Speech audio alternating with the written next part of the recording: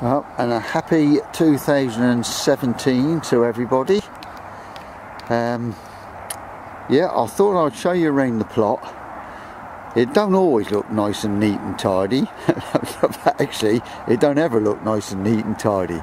But let's show you around anyway. You can see um, this is would be my normal pretty bit. Um, I've prepared that ready for sweet peas. Um, I've cut down the chrysanths and uh, the petunias I had growing there, the frost has knocked them right back.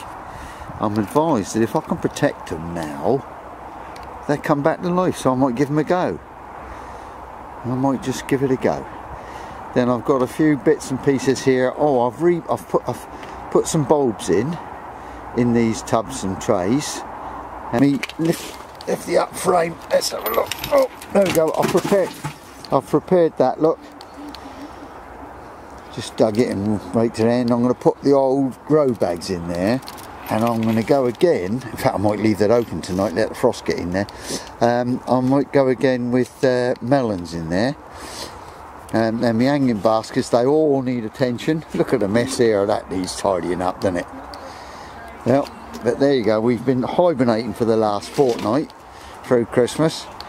Um, now in my sheddy bit in, oh there's there's my charcoal still burning from bonfire night look boiling the kettle. Um, peppers in here the cold last night knocked them on the head but there's one there nearly right I'll just take that down in a minute. And I'm trying a little experiment let's go around here and have a look what I've got in here. Little experiment with red peppers, bringing them through the winter. And if we look at this here, hold on, let's just turn that radio down, shall we? That's better. Um, I got some parsley in a pot there, in a couple of pots, and they're doing okay, look. So I'm going to hope that I can bring them on through. Um, well, they, they, they survive anyway. But I've got a nice pepper there, and it's still surviving. It picks the sun up in this corner, look. And as this is all plastic, it's um, it keeps quite warm in here. Um, oh let's swizzle back round again cause I'm gonna I've got some winter lettuce I've got coming on. Uh, I've got uh, geranium there look as you can see I'm bringing through. And I started saving up the tubes from the toilet roll tubes ready for me um, parsnips because I'll try and get some early parsnips. Right let's go a bit quick then. Rain to the greenhouse greenhouse. Let's go in the greenhouse. Oh, oh well, it definitely looks sad. Oh, I've got some peppers surviving there though, look. That really was a good frost last night.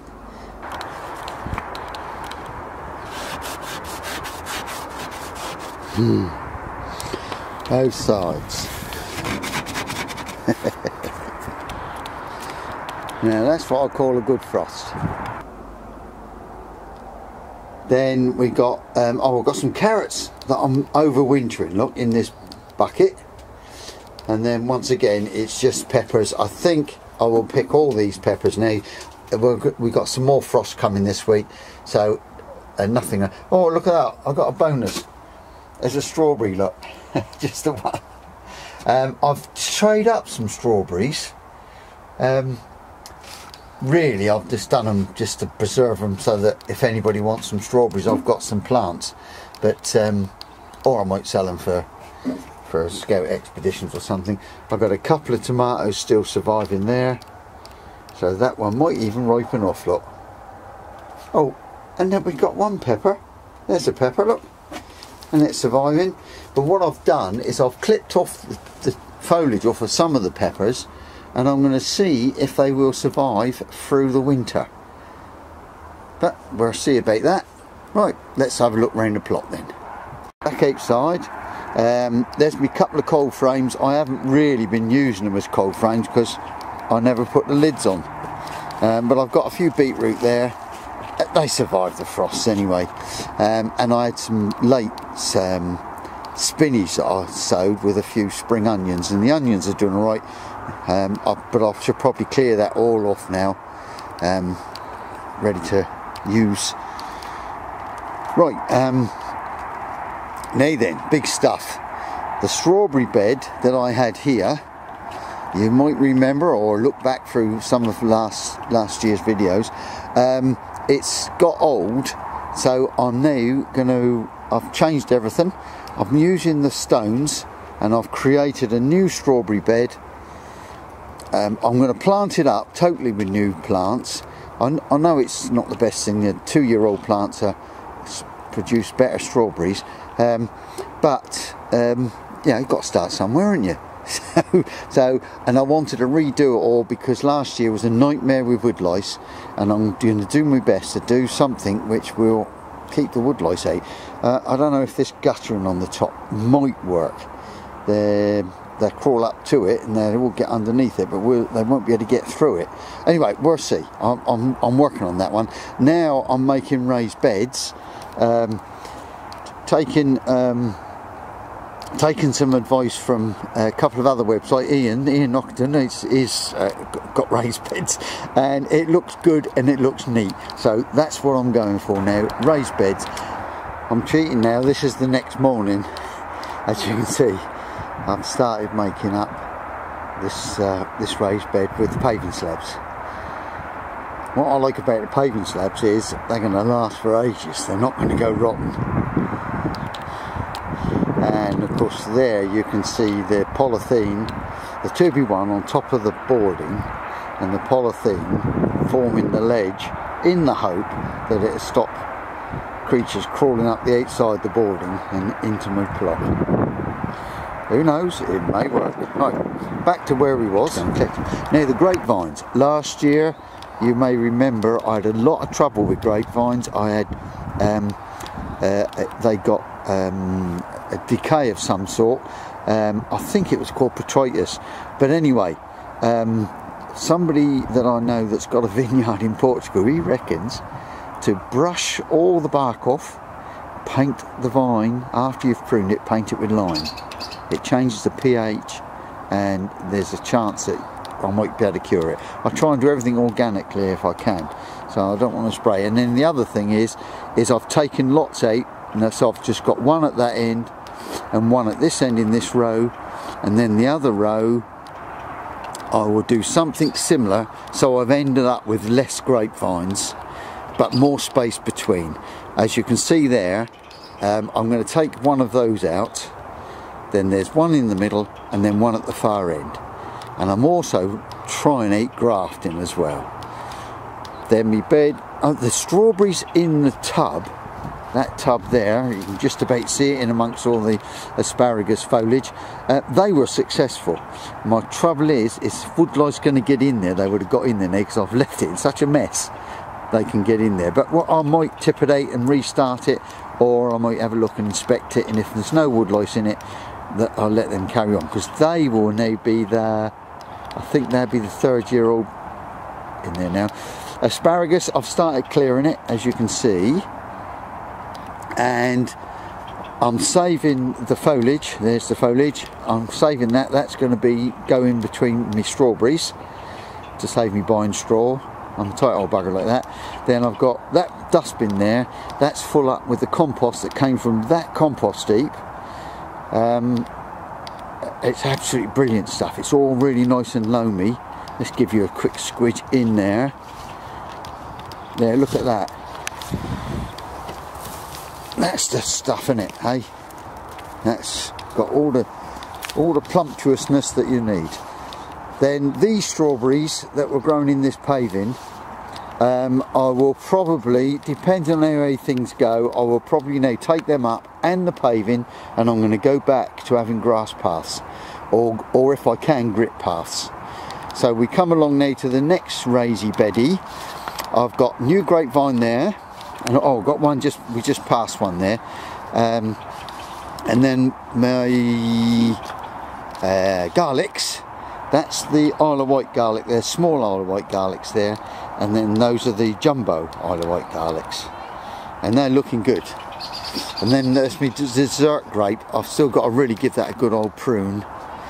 Um, but that was successful. That didn't get the Botrytis that didn't. So that's still to be I've still got to do that one and prune it and thin it out really lots. Then I've I've gone again, once again, raised bed look with the stones. Even though this next one along here is raised bed but it's only 6B1s with a bit of polythene round. Um, that is my um, shallots and they're looking good. Then I've got some overwintering onions and then at the far end there are the broad beans. And look they're they're looking good. This morning they were limp with the frost but now look they've all come back. So I'm well pleased with those. The first lot I put in uh, a mouse ate the beans they had already shooted and yet he ate the bean but not the little plant. And of course the little plant died then. Uh, it just was they were laid on the soil. But for some reason I, I put that wire around and that did the trick. So I'm good. Now peas oh, so oh, I'm well pleased with the peas. Look at this. Despite all the frost and everything else but of course it's nice and sunny now. Look at that lot they've all survived. Now normally the slugs eat them off but they haven't done. And at the far end because they're three different sowings the far end ones they are um, I've had to put sticks in them because they've already got the tendrils on them and then of course these were the raised beds last year when I was sort of trying to eat. they're too small. They, they need to be big enough. But anyway they've still got successfully I've got beetroot there to pick. I've still got leeks. So um, it's done good and the bean sticks of course they really do need to come down now but and I've got some lovely spinach. I'm, I'm a spinach olic. um, that's that's doing good. And then the sprouts they've been really successful. Christmas Day perfect sprout for Christmas Day. The interspersing that I did by putting leeks in between the plants it don't work really. The the leeks struggled um, some of some are okay but because there was a lot of foliage on the greens it cloaked the leeks. So they didn't do so well. So the leeks in the raised beds were perfect. So my advice is if you're going to grow leeks grow them in their own bed all on their own and then you can, control them as you can see they're, they're, sort of moderately successful. There's a few there look that that um, and I should be pulling a couple of those today. And then the then the cauliflowers they supposed to head in April but they the, they've grown absolutely unbelievable. Look at the size of that thing. It's a triffid. Um, I can only assume it's because I'm now getting lots of horse poo and the compost is super successful. Then this is where all the pumpkins were last year. That's all been dug now in preparation for potatoes next year. Or no, this year. This year, 2017. Um, and my bed that I had the carrots and um, parsnips in really successful that was. I got some lovely carrots in that because that's all mixed soil uh, soil and grit. Um, so I should go again this year try it again. Um, I should put some compost in there and mix it in but it'd be, the well rotted stuff and it won't be a great deal. I don't want the carrots forking. Um, then my fruit trees they I've pruned them um, and I'm going to try to um, train them like cordon but we'll see. Uh, right and then my last two grapevines they need pruning now. They were successful. I've got I've got a gallon and a half of red. Um, they were quite successful. Pond is frozen. I'm having a bit of a sort out here up here with some um, paving slabs and bits and pieces cars there's an outside chance I might be um, Oh, that no, I'm going to keep that secret. That's for next year. And then I've got a few chrysanthemums up the end here, and all my bins here that had potatoes in. Now they're covered, and there's still potatoes in them. They need tipping out, and I need to put some seaweed in them ready for next year. So there we are. Now there's a sample of what we got today. Uh, it's winter, and we ain't done bad, have we? We've still got probably the last of the peppers. There's a few left in the greenhouse, but that's going to be it, I think. Uh, so we got a yellow pepper and a red pepper and some green pepper, a bit of garlic, beetroot, um, Swiss chard, spring onion. Well, it's not really a spring onion, but it's an it's a couple of onions. Um, um, oh, we got a big onion, uh, red one. Um, I've got still got some white ones that are drying in the shed, of course. Potatoes, both coloured sprouts, you know, blue sprouts and green sprouts, and a couple of tomatoes. That's the latest I've ever picked, a ripe tomato A couple of leeks, some Swiss chard. Yeah, spinach, or did I say that already? But anyway, there we go. That's a good start for the new year, isn't it? Hmm, I'm happy with that. So there's the plot. It ain't as bad as I thought, really. It's just that there's loads of work still to do um, to, for, for, to, to, just to get ready for the spring. Um, but there we go. It's not doing too bad. So all I can do is wish you all a very happy growing 2017. Bye.